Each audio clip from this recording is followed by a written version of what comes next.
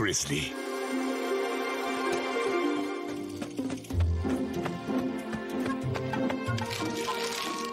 Beeil dich, Yakari. Bei den beiden kann man doch nie wissen. Keine Angst, kleiner Donner. Wirbelwind und kleiner Dachs sind gute Schützen.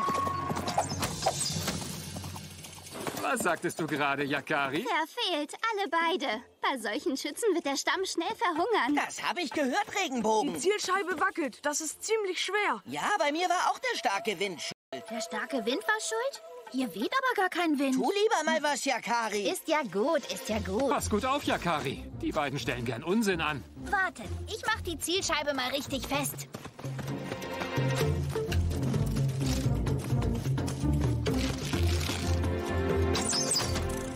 Und Gleichstand. Oh nein, meiner ist näher an der Mitte. Nein, meiner ist näher. Das werden wir ausmessen. Wenn ihr mir nicht glaubt, könnt ihr euch einen neuen Schiedsrichter suchen. Es gibt aber kein Unentschieden.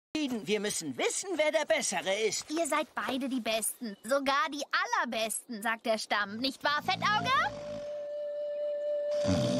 Na, seht ihr, er sieht das genau. Machst du dich über uns lustig, Yakari? Äh, ich habe nicht verstanden, was er gesagt hat. Nein, auf keinen Fall. Wir wiederholen das. Ja, aber nicht mit diesem alten Ding. Da hat man nur Angst, dass man es kaputt macht. Wir gehen los und jagen Truthähne. Ha, Truthähne zu jagen ist doch nur was für Babys. Wir jagen Wapitis. Das ist was für echte Jäger. Ich bin jedenfalls schon lang kein Baby mehr. Und außerdem, Wapitis jagen ist so einfach. Wir jagen einen Grizzly. Oh nein, macht das nicht. Ein Grizzly? Seid ihr verrückt geworden? Ähm, Grizzly meinst du? Na, das ist wirklich kinderleicht. Mal sehen, was jeder von uns mit einem Pfeil schießen kann. Mit einem einzigen, sagst du? Äh, gute Idee. Dann sehen wir ja, wer ein guter Jäger ist. Wie mein Vater, stolzer Reiter. Hört auf, ihr beiden. Das ist doch wirklich Unsinn. Misch dich nicht ein, Regenbogen. Das geht nur Wirbelwind und mich was an. Ja, das stimmt, Dachs. Das ist nur was für große Jäger. Wir dürfen das nicht zulassen, Yakari. Nachher treffen die zwei tatsächlich auf einen Grizzly. Kleiner Dachs ist schrecklich dickköpfig und Wirbelwind will seinem Vater etwas beweisen. Wir müssen sie davon abhalten. Hast du eine Idee? Hm.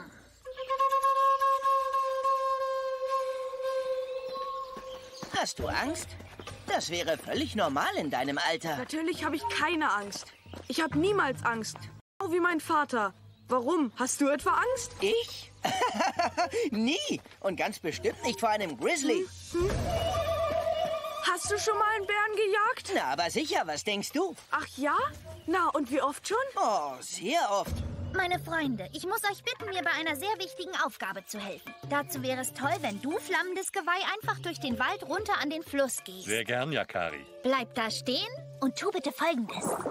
Das ist ein guter Ort, um zu der Jahreszeit einen Grizzly zu finden. Stimmt, zu dieser Zeit schwimmen alle Lachse den Fluss hinauf. Mein Vater sagt, dann kann man hier endlos viele Fische fangen. Ähm, ja, sehr richtig. Ob du es glaubst oder nicht, das weiß ich schon sehr lange. Da, Spuren. Oh, Ja, das sind wahre Luchsaugen. Die sollte jeder gute Jäger haben. Kein Zweifel. Ein Grizzly. der ist aber groß. Sieh mal, wie tief der Abdruck ist. Mein Vater hat mir Fährtenlesen beigebracht. Hm. Geh du vor, kleiner Dachs. Der Jugend die Ehre, Wirbelwind. Respekt für die Älteren. Ach was, wir gehen einfach zusammen. Das ist gerechter.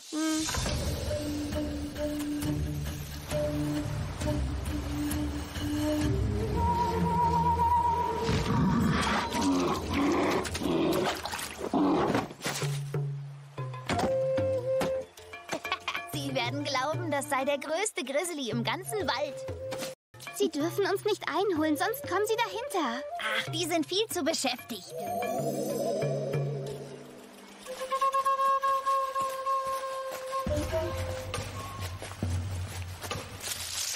Was war denn das? Der Wind? Der Wind und kein Blatt bewegt sich?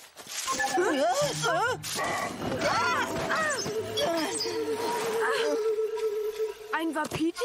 Au. Ja, dort ist meiner. Und deiner genau daneben. Hast du auch gesehen, wie die Pfeile tanzen? Aha. Ja. Lass mal, ich mach das schon.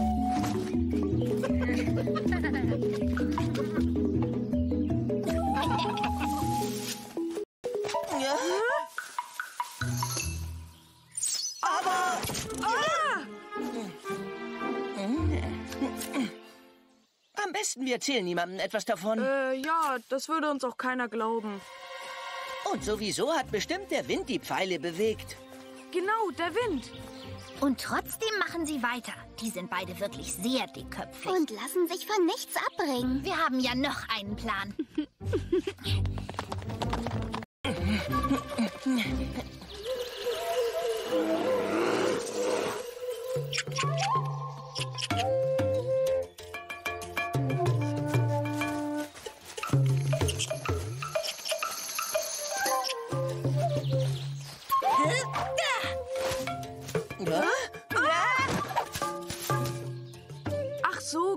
Kiefernzapfen sind das. Äh, ja, lieber vorsichtig sein. Angst hatte ich jedenfalls nicht. Ich sowieso nicht. Sind wir hier nicht schon mal gewesen? Bestimmt nicht. Sieh dir das an. Das ist immer noch die Fährte, die ich entdeckt habe.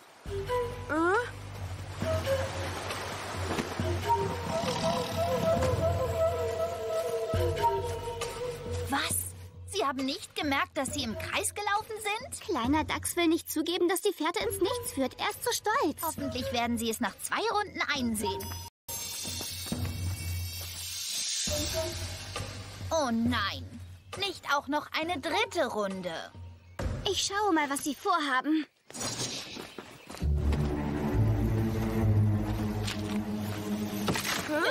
Ja, Lasst eure Pfeile stecken. Ich bin kein Grizzly. Regenbogen? das wusste ich. Tch, Aber auf der Jagd bin ich auf alles gefasst. Ach, natürlich. Ihr jagt hier einen Grizzly. Schon einen gesehen? Wir sind ihm auf der Spur.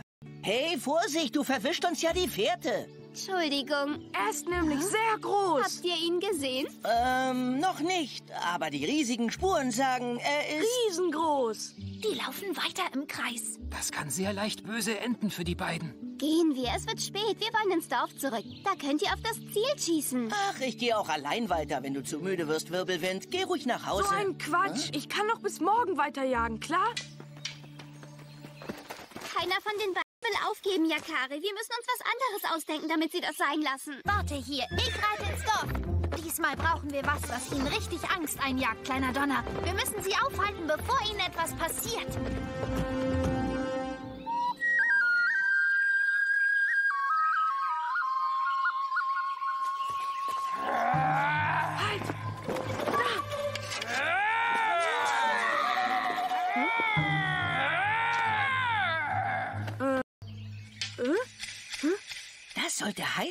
Erledige den Bären und du den.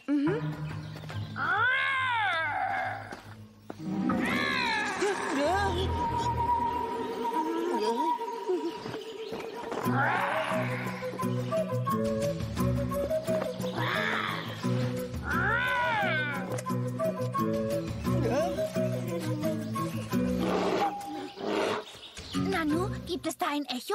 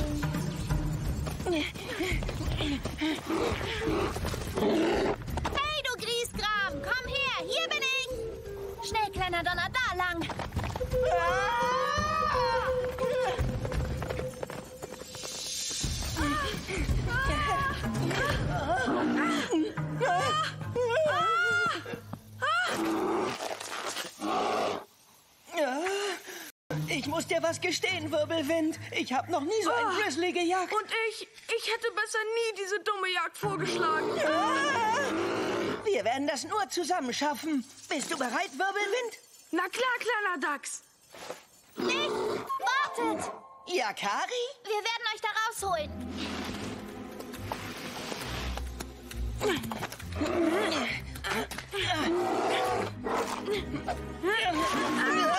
Steig auf meine Schultern.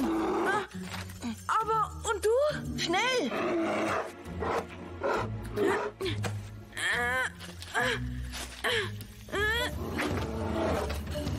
Oh nein!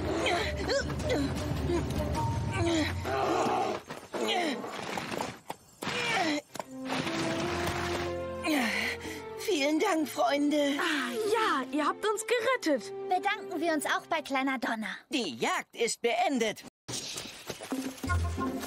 Seht ihr? Die Fährte des Grizzly? Ha, Immerhin waren wir dem Riesengrizzly auf der Spur. wir sind eben gute, äh, äh, gute Fährtenleser.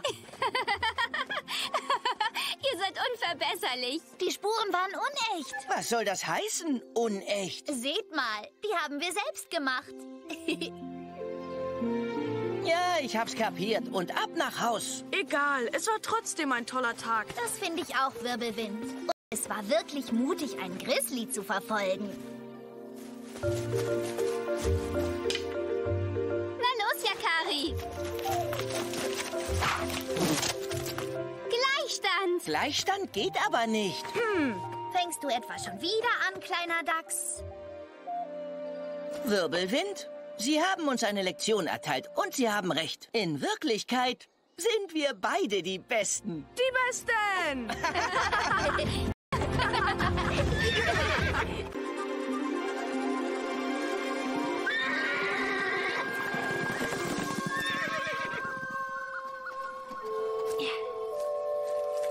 Bis morgen, Yakari. Gute Nacht, kleiner Donner.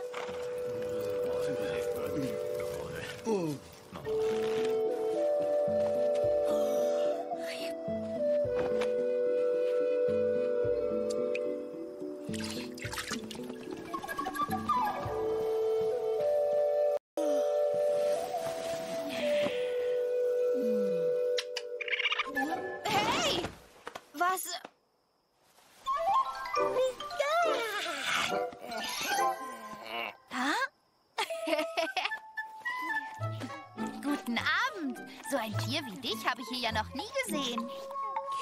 Ähm, soll das heißen, du hast noch nie ein Katzenfrett gesehen? Nein, noch nie. Ich komme von sehr weit her. Eine Überschwemmung hat mein Nest weggespült. Aber überall, wo ich danach bleiben wollte, haben mich die Tiere des Waldes verjagt. Die denken nur an sich. Du bist doch nicht so wie die, oder? Naja, ich.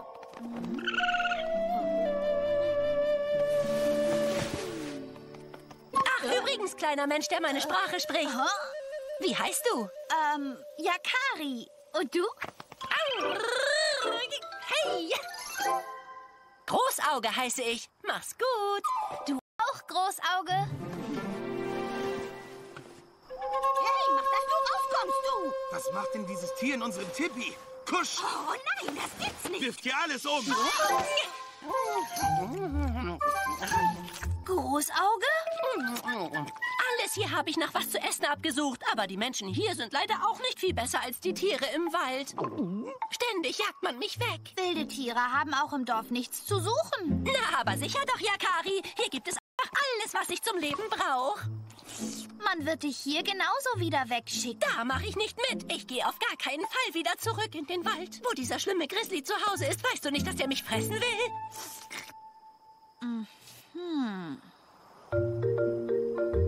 So ein Tier wie ihn habe ich noch nie gesehen. Ein Katzenfrett, sagst du?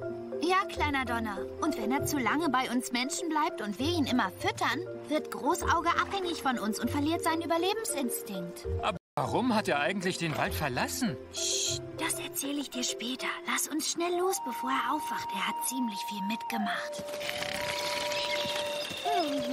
Der schnarcht ja fast noch lauter als Fettauge. Wir müssen ein neues Zuhause für ihn finden. Denn sonst passiert es, dass er ins Dorf zurückkommt. Wir setzen ihn auf einem Baum ab und reiten zurück. Hier sieht es doch nett aus. Da fühlt er sich bestimmt wohl. Auf gar keinen Fall. Ich habe das alles genau gehört und sage nein, kommt nicht in Frage. Diese Lichtung gehört nur dem großen Krickrack. Krickrack, warum bist du so gemein? Der Wald gehört doch uns allen. Dein Freund sollte lieber nicht so gemein sein. Was? Meinst du Großauge? Ja, ihr werdet nirgendwo jemanden finden, der diesen dreisten Kerl aufnimmt. Also verschwindet hier. Husch, husch. Aber was hat dir Großauge getan, Krickrack? Keine Zeit für lange Erklärungen, kleiner Siux. Ich für meinen Teil muss eben etwas tun für mein Essen. Nun haut schon ab. Wenn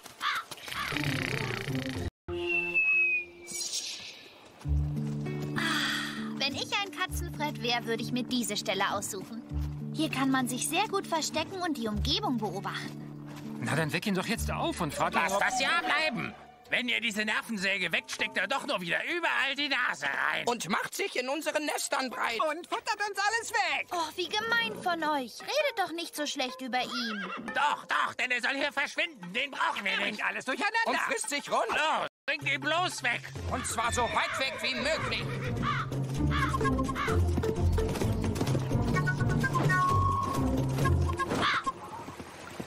Hier ist es doch schön. Ja, das gefällt mir hier auch sehr. Und für ihn wäre es perfekt. Was haben diese Eindringlinge in meinem Revier zu suchen? Fischbeißer! Yakari! Mein Freund! Fischbeißer! Hm, Wir haben uns lange nicht gesehen. Wow, und das kleine Pferdchen ist auch da. Yakari hat mir letztes Jahr so geholfen. Ich stehe tief in seiner Schuld. Das ist wirklich sehr lieb, Fischbeißer. Ich wollte dich nämlich was fragen. Nur zu, mein Freund. Es ist so gut wie erledigt. Es ist was für meinen Freund da. Nein, Du hast gesagt, nein. Ich lege viel Wert auf meine Ruhe. Dieser kleine Quellgeist hat meine Höhle verwüstet und sein kieksiges Geschrei treibt mich noch in den Wahn. Genauso mein Freund wie du. Gut, er ist dein Freund, dann sind wir keine Freunde mehr. Er oder ich. Lassen wir deinen großen Freund lieber in Ruhe, Yakari.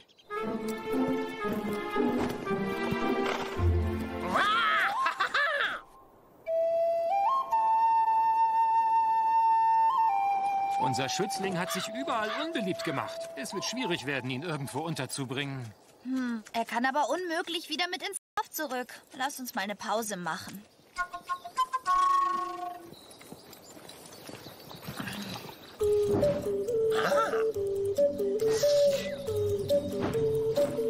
Hey! Krick-Krack? Oh, wie wär's mit einem Stück von dem Pemmikan hier? Na, willst du? Ich geb's dir, wenn du mir sagst, was du über Großauge weißt. Na ja, gut, meinetwegen. Aha, Na, und? Hör zu. Dein Freund da, weißt du, dass er von sehr weit herkommt? Aber Krick-Krack, das ist doch kein Grund, ihn zu verscheuchen. Dieser Schnüffler steckt seine Nase wirklich überall rein. Hm. Er ist ja die ganze Nacht unterwegs und stört uns mit seinem Rumgestöber. Mhm. Du hast recht, das stimmt wirklich. Das war im Dorf ganz genauso. Nur. Nur ist das noch nicht alles. Hm. Bei mir hat er alles auf den Kopf gestellt und dann auch noch meine Vorräte weggefuttert. Und so einen nennst du dein Freund?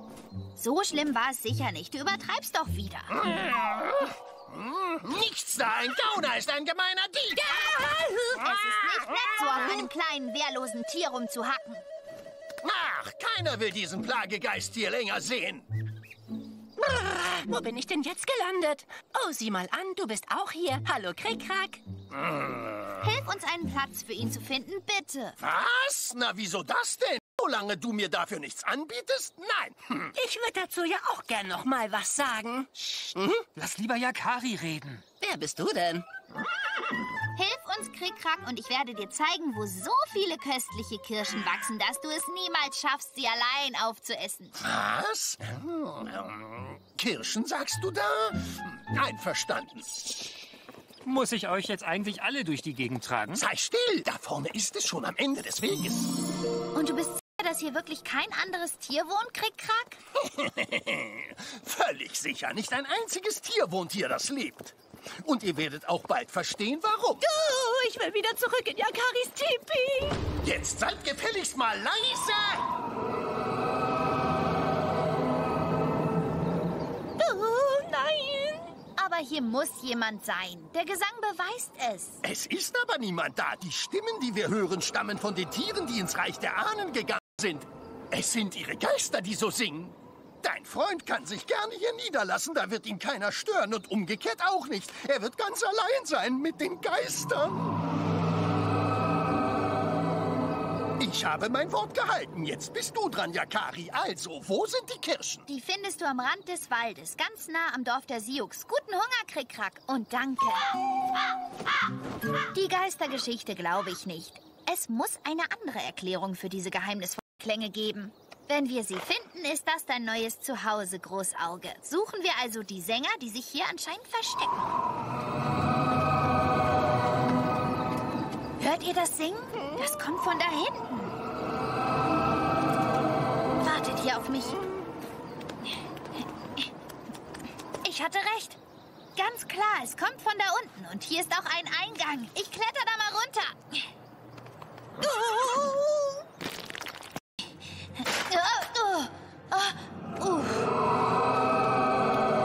Es stimmt, die Gesänge kommen aus dem Bauch der Erde.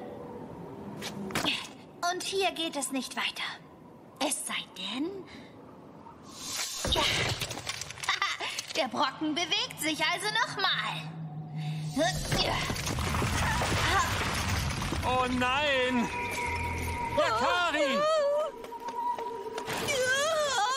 Yakari ist in diesem Loch verschwunden. Nur du kannst da hineinklettern und nachschauen, was mit ihm passiert ist. Wer? Ich? Geh und such meinen Freund. Unseren Freund. Schließlich ist er deinetwegen reingegangen. Äh, ja, äh. Nur Mut. Rein da.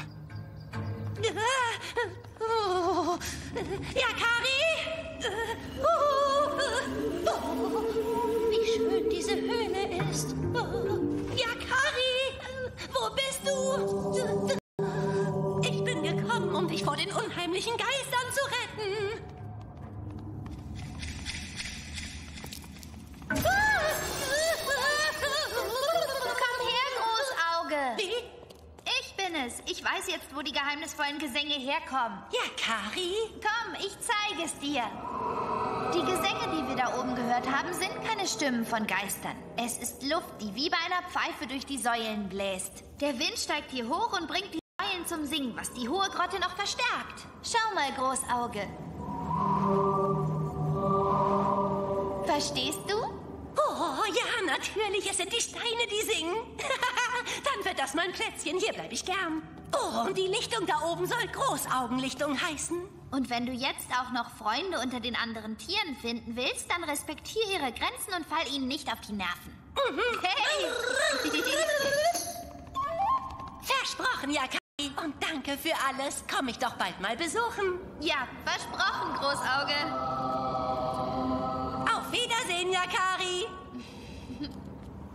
Weißt du, stiller Fels, diese Höhle ist wie ein Wunder. Der Wind bringt die Steine zum Singen. Ich frage mich, ob es die Lichtung der Geister ist, von der unsere Vorfahren schon sprachen. Was ist, Yakari? Hast du Geister gesehen? Keine, nur einen kleinen Quälgeist und den sollte man nicht stören.